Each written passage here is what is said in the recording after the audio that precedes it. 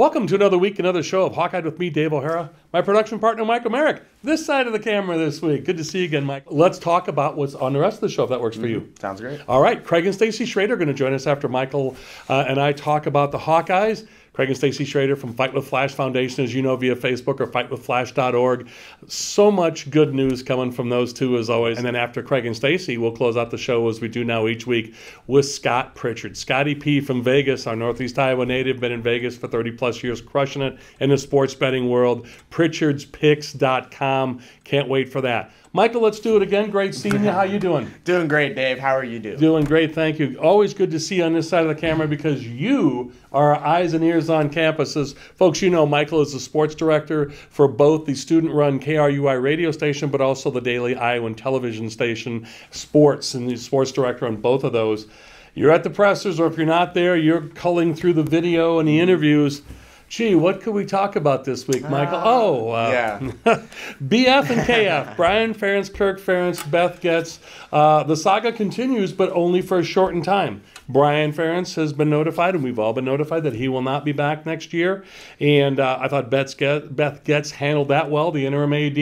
I thought Kirk Ferentz's comments were very telling yesterday as we record this on Wednesday afternoon, November 1st. I've done all the lead up for you. Take it from here, and you. Yeah, uh, you mentioned it. A lot to talk about with all the sports. The October, November time, always just the best time for sports. You get Truly. to mix everything. You're closing with some World Series. You're getting some football, some basketball. But big news here at the University of Iowa right now. You talked about it. Brian Ferentz is out after the 2023 season. So that means there will be a new offensive coordinator for Iowa following this bowl game this upcoming year. So four regular season games left for BF. Maybe a Big Ten championship game. A lot of Hawkeye fans are hoping for that. Yeah. Um, except the weird ones that aren't hoping for that. Uh, but nonetheless, and then a bowl game, of Yeah. course, which Iowa is already eligible for. And you talked about Kirk Ferentz's statements, and they were pretty telling. It was fairly clear to a lot of people, and now I might be reading between the lines here, but Kirk kind of seemed a little agitated that this happened Yeah. at the timing that it did. Um, when the statement came out that it was during the season, he multiple times throughout the press conference brought up how in his 24 25 30 years coaching and everything everything has been done evaluation wise postseason and this coming during the middle of the season Yeah. um, was a big potential distraction to him and his team but they have, you know, they do what Iowa does. They're focused on Northwestern. Northwestern Northwestern's the biggest thing in the world right now. You know, getting to play in Wrigley Field, that'll be great for them. But this is obviously some really breaking stuff. Um, and, you know, being a student at the University of Iowa, you can only imagine how many people are armchair quarterbacking Oh, yeah. to me about wanting Brian Ferentz out of there. And that's pretty much since I've been a student here that they uh, I'm a senior now and they've been you know chirping about the offense for a while all the other students. So you know Beth Goetz that's a way to win the PR very quickly I would say this way is to get rid of who's been public enemy number 1 let's just you know cut through all of it. That is what's been happening. You don't really see other schools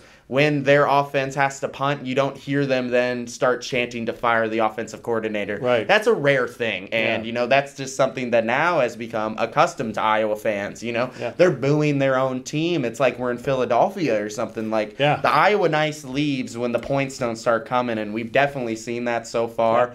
Um, and I think Beth Goetz has handled this situation really well. Um, putting out the statement, having the conversations that she has had, and then talking to the media afterwards. She's staying true to who she is. And I think that Beth Goetz is already off to a great start. You know, there's not many times that an athletic director has to do something that might upset a guaranteed Hall of Fame head coach. Someone who's been there for over 30 years, if you include their entire time at the university.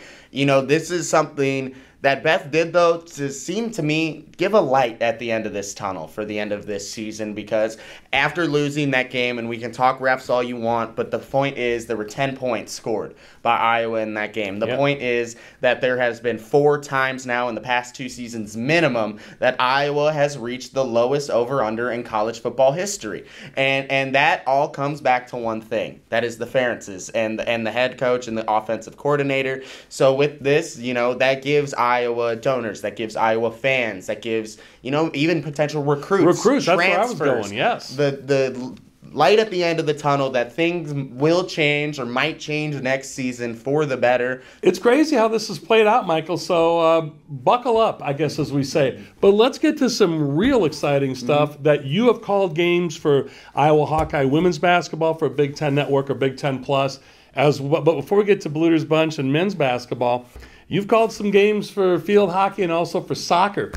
I'll tell you what, the women are getting it done in soccer and field hockey. Let's talk about that before we talk about basketball. Please. Yeah, so the soccer team, they just got a very big win over Michigan State, the number one ranked team in the Big Ten, I believe top 15 in the entire country. So that was a massive win for them. Now they'll be taking on Penn State here Thursday, November 2nd. So that'll be a big game. Everyone watching will know the result. We don't know right now. Yeah but it'll be a very important one. Those two teams drew last year when they played, so anything's possible again. I mean, if you look back at that 2020 tournament, that Hawkeye team had, I believe, one Big Ten win the entire season yeah. before going on and winning the entire Big Ten tournament and then even getting an NCAA tournament win. And then you talk about field hockey, they got a big win on senior day, the home finale against Rutgers. They'll also have a game on November 2nd, so you'll know the result of that as yeah. well. They're up in Ann Arbor for the Big Ten tournament.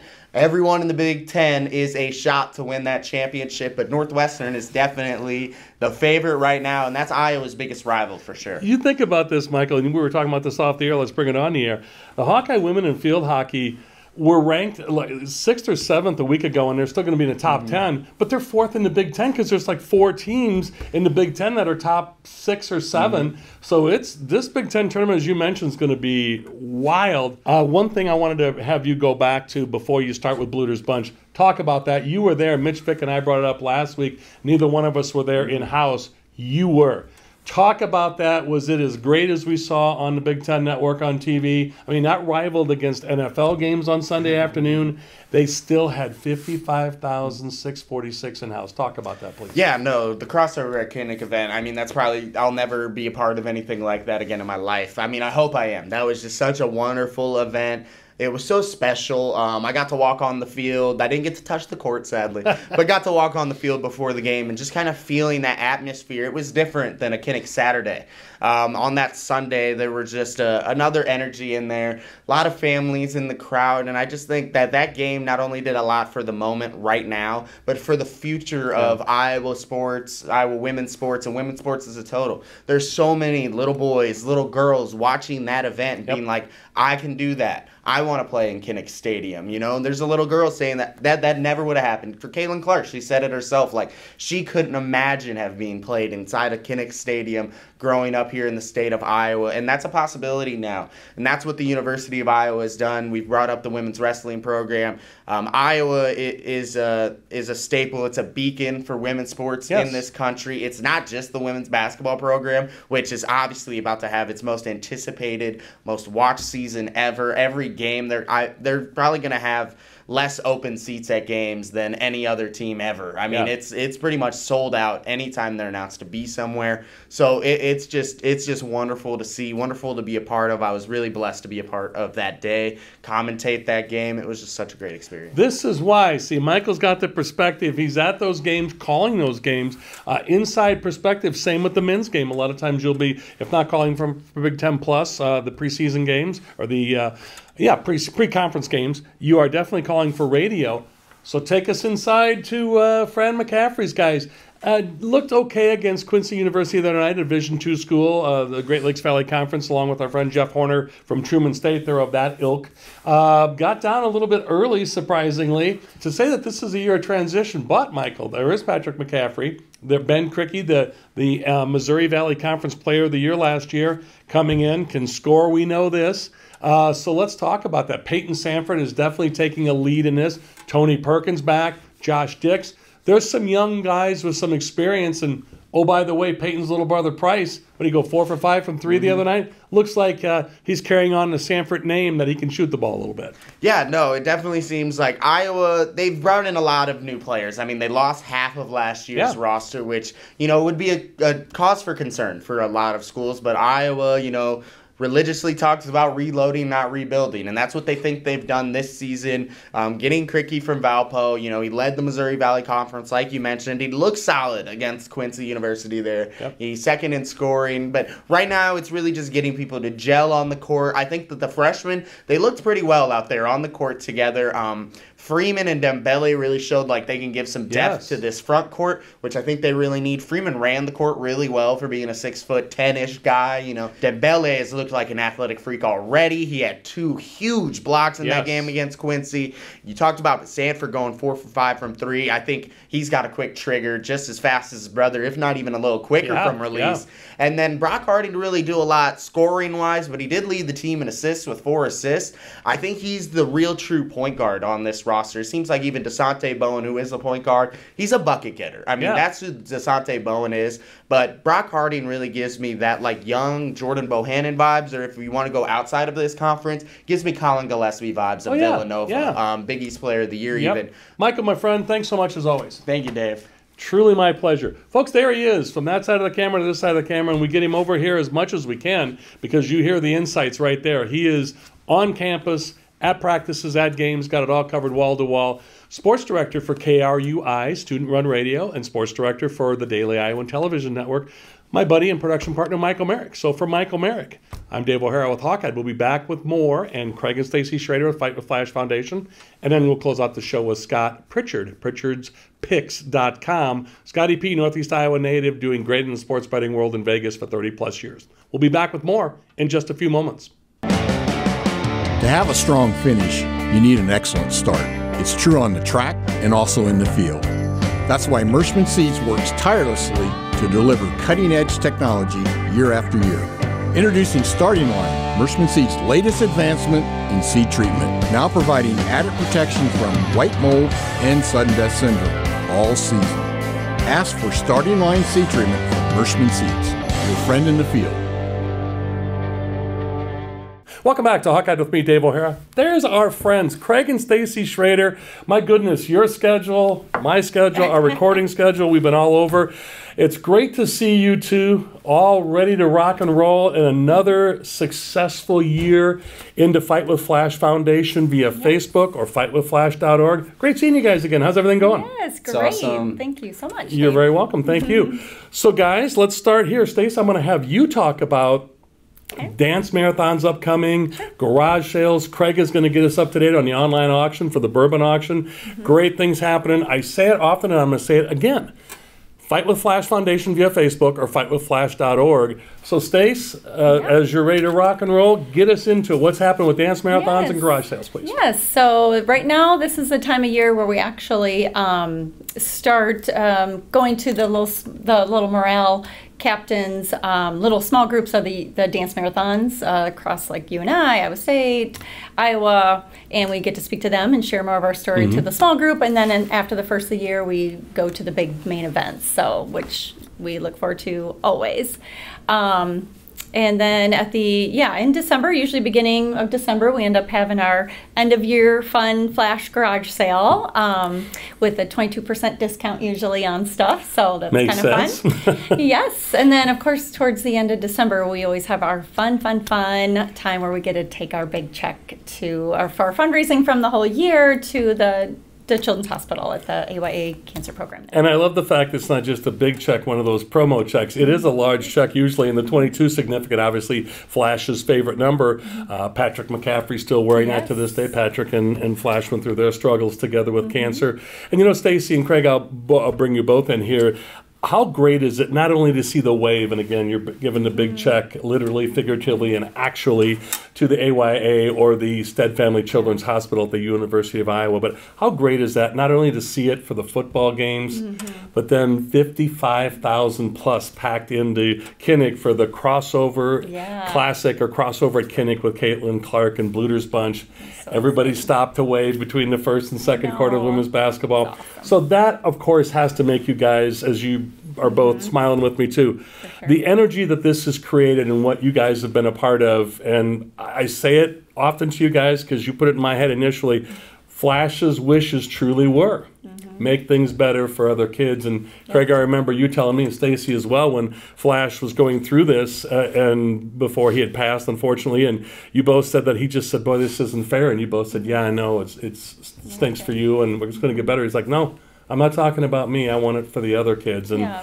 that just, I, I know we haven't visited in a while, and I want to reiterate that to the viewing public who, if you aren't familiar with the story, do yourself a favor facebook.com uh, and then slash Fight with Flash Foundation or fightwithflash.org. So, Stacy, Yeah. great stuff as always from you. And then Yes. garage sale you mentioned as well. Yep. You got the earrings on, of course, as always. So, Yep, all that will be listed online. So, Craig, let's get to it. Stacy always does the drum roll so well. Uh, With uh, the online bourbon auction, I'm guessing another successful year. It's been big the first two years. Let's hear it. It's been uh, it was it was a great four days, and we're so appreciative of everybody that uh, donated bottles, all the people that donate money, try to win bourbon, but majority of the people on there really don't care if they win. Right. It's their way of making a difference for other people. A lot of these people might have been connected with somebody that uh, might have lost somebody due to cancer, but they're not don't have a foundation necessarily for their person, or they don't have one themselves. So it's a way for them to get involved with other people that do have foundations and still make a difference. Um, and I know when I do, uh, I donate to a lot of other ones. Yeah. Um, Stace, you don't need to listen. Um, the other ones I try to go on and donate as well, and to help those causes because they all are important. And, Yeah. and they all all the money makes a difference. So for our event that ended. Um, we ended up uh, raising forty thousand dollars in those Yeah. four days. Yeah. My goodness, 10K a day on the average. And Right. Now you guys are going into year nine, right? Or it's Yep. been eight years, unfortunately, since Flash had passed. So we're approaching that seven figure. I don't want to get crazy with the numbers yet, but you guys are really rolling it up. I'm going to mention it again repeatedly. Go to facebook.com slash fight with Flash Foundation or fightwithflash.org because what I love about your golf tournament, and if you go back and look at past years of pictures or videos, your sponsors are coming back and they're bringing other sponsors with them. So that community that we talk about, everybody's taking ownership in this because unfortunately, to both your points, it touches a lot of our lives, unfortunately. It does. Yeah. It does. Craig Stacy, thank you. So, for the Fight with Flash Foundation via Facebook or fightwithflash.org, I'm Dave O'Hara with Hawkeyed. We'll be back with Scott Pritchard to close out the show. Scotty P from Northeast Iowa, now in Vegas doing big things in the sports betting world. We'll be back with more to close out Hawkeyed in just a few moments. Who do you trust to produce the best deal? A seat company that's chasing technology or a seed company that's writing a book on it? Merschman Seeds is a leader in technology. We're independent and family owned. Our sister company, MS Technologies, provides access to world class traits and genetics. And our starting line seed treatment is second to none. Who can you trust with your yields? Merschman Seeds, your friend in the field. Welcome back to Hawkeyed with me, Dave O'Hara. There's our buddy Scotty P. Scott Pritchard, pritchardspicks.com. Scott Pritchard, a Northeast Iowa native, and I've been crushing it in Vegas in the sports betting world for the last 30 plus years. Scotty P, as always, thanks for joining us. Great to see you. How you doing, my friend? I'm doing great, Dave, but enough about me. How are you? I'm doing great as well. And, you know, less of me and more of you is always a good thing, especially when it comes to making money on this show, my man.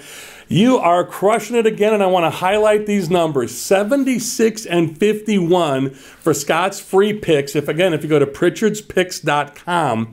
And the reason I mention that is, as Scott has, has told me many times off the air, and I want to bring it on the air, you take a look at that 60% winning percentage, and as Scott always says, and I'm, I'm a good student of whatever this man says not all numbers are created equal. And so let's uh, let's talk about that and the over under this week as we record this on wednesday afternoon november 1st the iowa hawkeyes game in chicago at wrigley field against northwestern but it opened at 29 and a half for the total or the over under both teams combined score. And the Hawks went from a six and a half point favorite. They are now down to a five point favorite, again, depending what sports book or line you go by.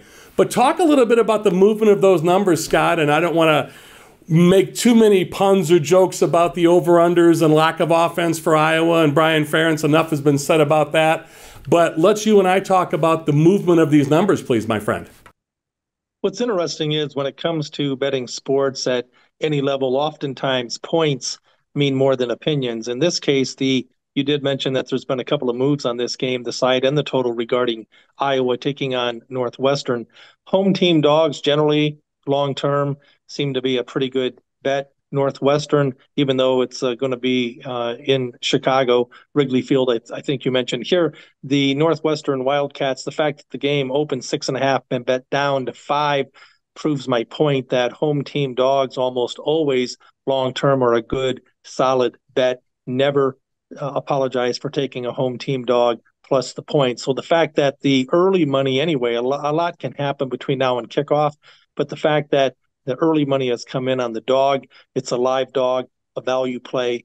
In regards to Iowa, their lack of offense and lack of creativity on offense, they have a very good defense, but the total reflects the fact that this team cannot score. They're inept on offense. They play really good, sound defense. And I can remember a bowl game a year ago, the total I believe was 32, and that was an easy under to the point where people in Vegas tend to call me the undertaker simply because I generally lean. I don't go into a handicapping sports saying I'm going to proactively go with the unders, but more times than not, I'm taking the points. More times than not, I'm betting the under. And in this case, you know, the total floating around between 29, 29 and a half, 30, 30 and a half. But this is not all that new simply because Iowa just a couple, three weeks ago taking on Minnesota. I remember the total open 32 was bet down to 30, 29 and a half. It fell uh, 22 points at 12 to 10 as Iowa got hosed late in that game. But even if that punt return for a touchdown late stood up, they still would have uh, cashed on the under. Yeah, and you're exactly right. In that last last year's bowl game, as you mentioned, was a 21 nothing Hawkeye victory over Kentucky, and uh, you know, so I'd be happy if uh, if Iowa doesn't win by more than five. If they win by a field goal, or in Iowa's case, maybe even a safety. We know punting is winning, defense is winning at Iowa, and great stuff, Scott. And thank you for that. So let's get to a viewer question from Susan in Des Moines. I love the representation of our female viewership here, Scott. And she, again, to your law of numbers and your averages, again, pritchardspicks.com, Scotty P, Scott Pritchard, our friend from Northeast Iowa native, but been in Las Vegas for the last 30 plus years, doing extraordinarily well in the sports betting business, 30 plus years. So, Scott, Susan's question is, if I don't go with Scott all the time, and we mentioned your gaudy, fantastic numbers on your free picks of 76 and 51, that's a 60% winning clip. And again, as we know, you got to go 52.4% just to break even after paying the juice, the vig, the tax. Uh, so Scott is way, way above that. But to Susan's question, Scott, I need to pick a system or a person because if I only pick Scott sporadically, let's hypothetically say you could pick you on a couple of your 76 wins, but you could also go on a streak of where it's the 51 losses, the aggregate, you may hit you three or four different times where it's a loss, loss, loss, loss, loss. Her question is I've got to pick a system or a person and go with it, correct, Scott? Well, actually, that's pretty insightful from Susan's standpoint. I do appreciate the fact that we've got some female viewers because, respectfully, my analytics, my audience is about 97% men. But to her point, keep in mind this is a marathon, it's not a sprint. And I equate it to, Dave, that you don't try and proactively time the stock market. Either you're in for the long term or you are guessing and it's impossible to time the market. I but to her point, you know, I can tell you that on TikTok and the social media platforms that I post videos on a daily basis, that's where I, I'm documented at 76 and 51 versus the number that, you know, I've had a couple of uh, people that tune in and say, gosh, you know, every time I follow you, I lose. And it's like, dude, if you cannot make money with a record, a free pick record versus the number of 76 and 51, you should not be betting, period. Fantastic. See, we uh, uh, all of us folks here, you're an Iowa native. All of our viewers, smart, smart people. I, we know that already. Scott, going in, I knew you'd agree with me on that. But my friend, the time goes so quickly here. I look forward to catching up with you next week. Your nuggets of. Uh, of uh, wisdom are fantastic. I want to take this opportunity. I usually do it at the beginning and end of the segment, but we got so caught up with you. You're still doing very well in the Circa, the Invitational, top 16 bettors uh, anywhere around. And, and Scotty P is doing very well. I believe is still in second place at the Circa, the world's largest and best sports book. And you're also crushing it in the Golden Nugget contest. You got to update us on both of those, please, Scotty.